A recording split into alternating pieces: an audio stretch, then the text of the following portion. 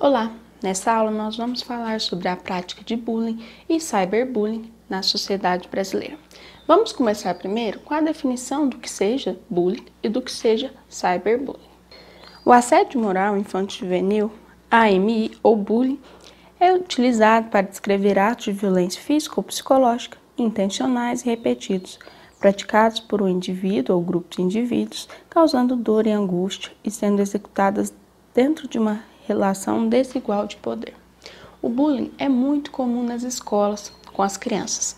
Geralmente, grupos de pessoas ou alguns indivíduos considerados mais fortes fazem bullying com os outros. Isso é prejudicial e tem inúmeras consequências na saúde mental da criança. Também contribui para o isolamento e a criação do medo. Por isso, o bullying deve ser evitado nas escolas. Eu sei que muitas pessoas falam: ah, mas na minha época não tinha isso. Na minha época, bullying era só brincadeira. Mas você não sabe, esse é o ponto.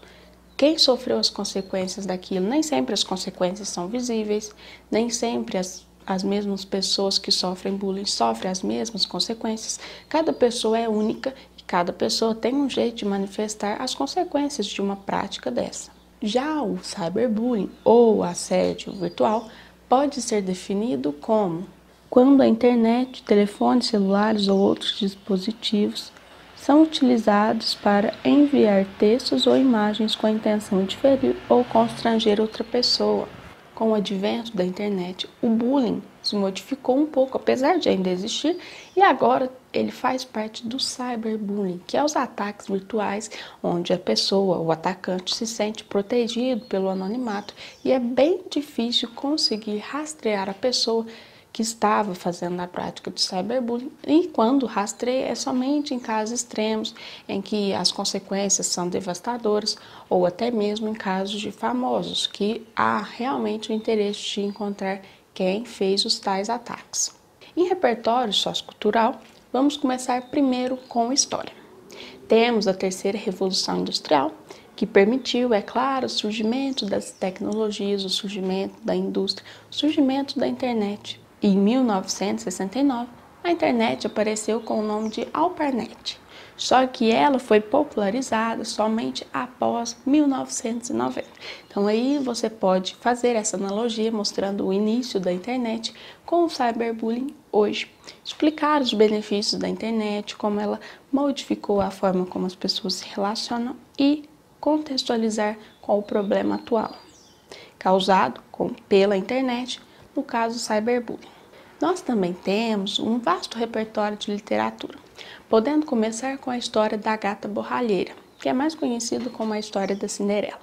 As irmãs malvadas da Cinderela praticavam bullying com ela, excluíam ela, zoavam ela. No caso da gata borralheira, é um exemplo melhor, porque a zoeira, o nome de gata borralheira, vem porque a Cinderela ou a personagem principal estava sempre suja de cinzas do fogão a lenha. Então as irmãs falaram: ah, você parece uma gata borralheira, esse nome te cai bem.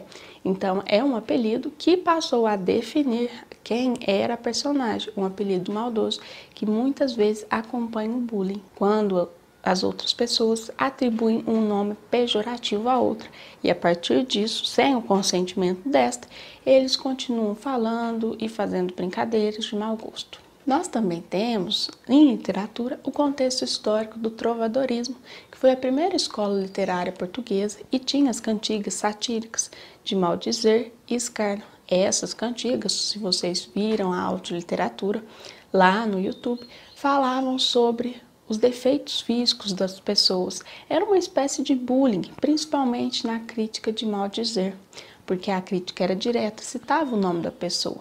Já na outra, a crítica indireta, a cantiga satírica indireta, se enunciava os defeitos, falava mal de alguém, mas não colocava o nome. Mas nessa direta que realmente coloca o nome da pessoa, é uma espécie de bullying, porque as cantigas eram espalhadas pela cidade e todo mundo tinha acesso à brincadeira de mau gosto. Na obra O Ateneu, do Raul Pompeia, o Sérgio, que é o personagem principal, vai morar em um internato e lá ele sofre inúmeros tipos de bullying, assim como ele vê as práticas de bullying com os personagens à sua volta, com os seus amigos. Então é um livro que você pode contextualizar com esse tema e fundamentar a sua opinião a partir dele. Uma outra obra interessante é o livro Memórias Póstumas de Brás Cubas, do Machado de Assis. Nesse livro, o personagem principal, Brás Cubas, quando era criança, fazia o negrinho Prudêncio de cavalo de montaria. E a partir disso brincava com ele repetidas vezes. Apesar do Prudêncio não perceber muito que aquilo era uma forma de bullying, de reduzir o menino, de tornar o menino animalizado, ele não percebia isso. Mas porque a pessoa não percebe que é uma forma de bullying, não significa que não seja uma forma de bullying. Então você pode falar isso, pegar esse caso do Prudêncio e falar que muitas vezes as pessoas que sofrem bullying não percebem que estão sofrendo bullying, acham que aquilo é um comportamento normal, que não deve ligar, deve deixar para lá, só que isso causa inúmeras consequências na vida da pessoa. No repertório de entretenimento, vamos começar com filmes. Tem vários filmes que você pode usar como fundamentação da sua opinião na redação do Enem. O primeiro filme, série na verdade, é Os 13 Porquês, que é uma série bem polêmica. A série relata a história de uma menina que comete suicídio. Mas antes disso, ela mostra os motivos, os porquês dela ter feito isso. Então ela grava fitas explicando os 13 porquês e cada episódio é basicamente uma fita, teoricamente, que ela conta de pessoas que fizeram bullying com ela. E aí ela envia essas fitas para as pessoas. Então as pessoas têm contato com ela falando por que, que ela sofreu bullying daquela pessoa, por que, que ela ficou chateada com a atitude daquela pessoa, e são os três porquês que levam ela a cometer suicídio. Essa série é bem polêmica, mas você pode usar ela para fundamentar a sua redação, falando, por exemplo, das consequências do bullying, usando o suicídio da menina como uma analogia. Uma outra série importante da Netflix é o Insatiable, que conta a história de uma menina que era gorda, e é uma história bem clichê, né? Nós vemos muito isso. E aí ela sofria vários tipos de bullying, e aí ela vira magra, e aí ela passa a se vingar. Ela quer se vingar das pessoas que ficavam zoando ela quando ela era gorda. Então, essa é uma história bem clássica, né? Você vai ver isso em vários filmes e você pode usar na sua redação como fundamento tanto de explicitar uma prática de bullying muito comum nas escolas e que apareceu nos cinemas, tanto para falar sobre as consequências do bullying, que no caso é a busca por vingança. Tem um filme de terror também que chama Carrie a Estranha, que é basicamente uma menina que sofria inúmeros preconceitos na escola.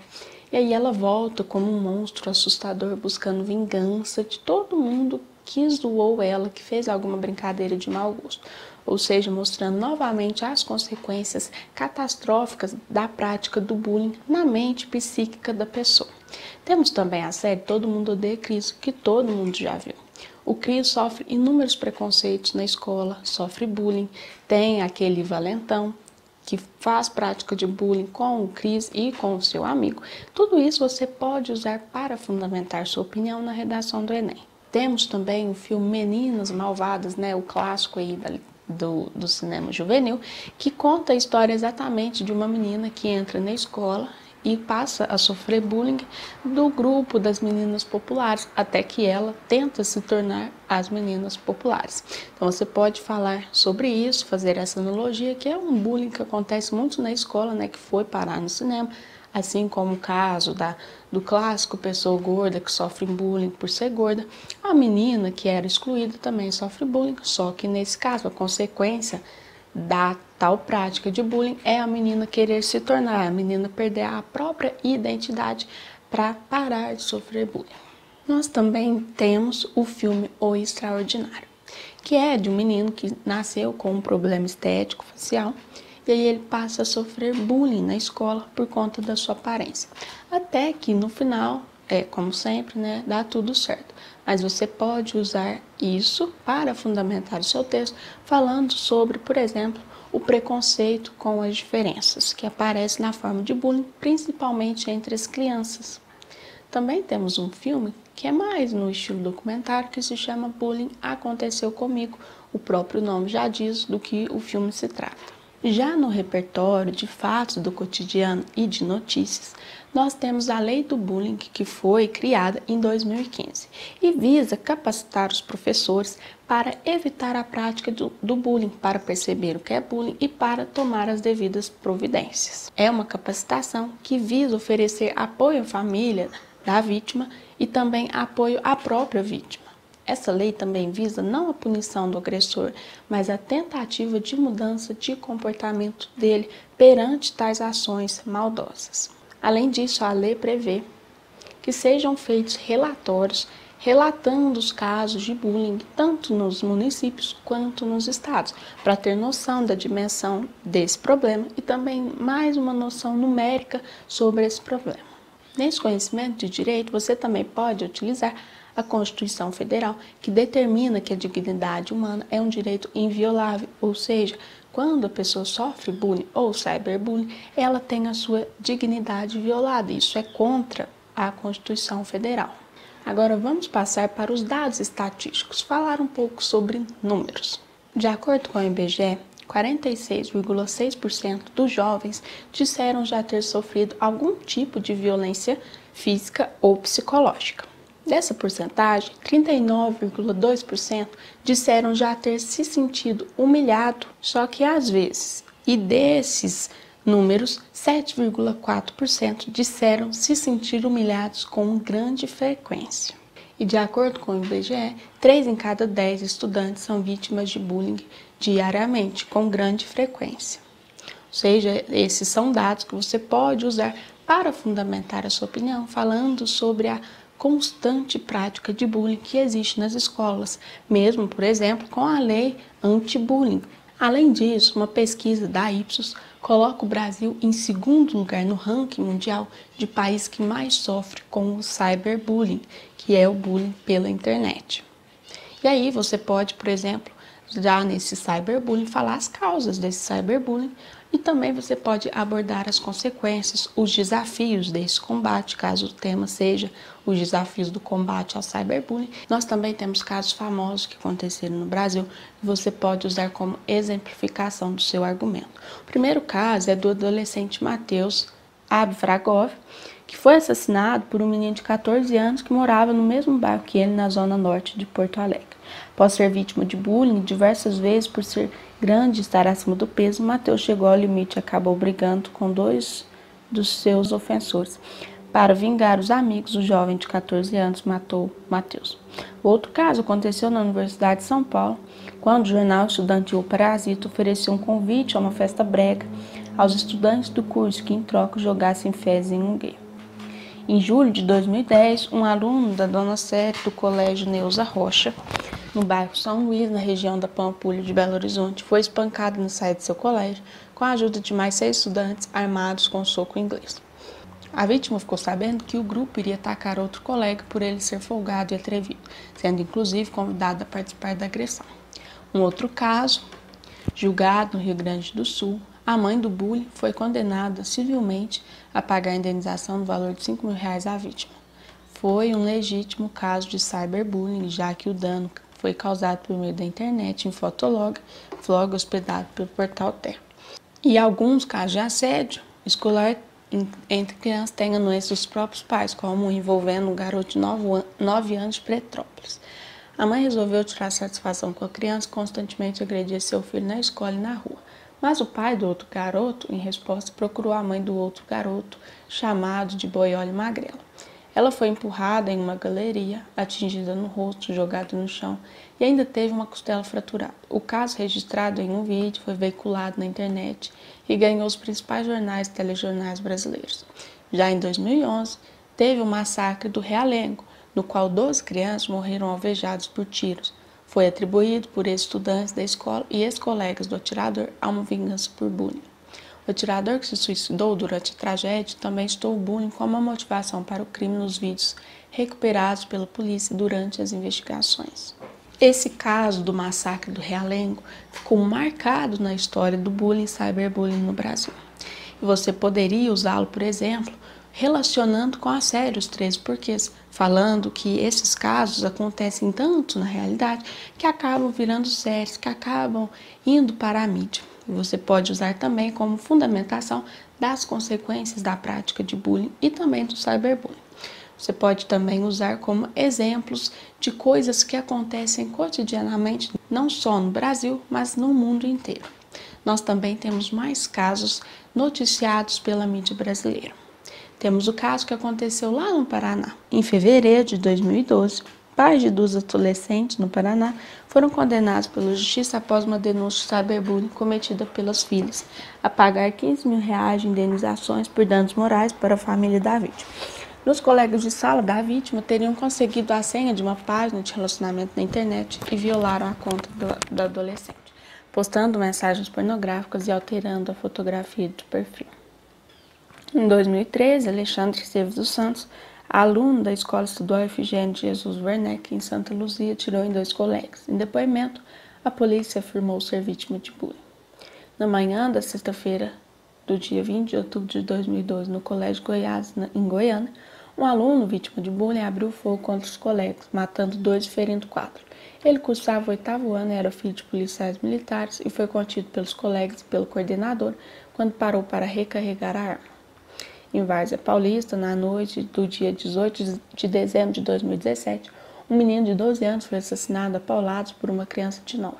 Segundo o delegado Marcel Fer, a vítima procura, provocava constantemente o menino, que é estrábico, chamando de galo cego e caô. A vítima ainda chegou a ser socorrida ao hospital de Jundiaí, mas não resistiu aos ferimentos. Nós temos vários casos que aconteceram, terminaram em tragédias e alguns pelo menos foram resolvidos mas você pode usar isso para fundamentar a sua opinião. Sempre use esses dados, sempre use repertório sociocultural, porque você vai pontuar na competência 2 e você vai mostrar que você sabe o que está acontecendo no mundo à sua volta, que você tem bagagem para falar o que você está falando, para fundamentar o seu argumento e não deixar somente a sua opinião no texto. A sua opinião, que é opinião sem justificação. O argumento, lembrando novamente, o argumento é opinião justificada, é você colocar o que você acha, o que você pensa, mas justificar isso. Justifique com exemplos,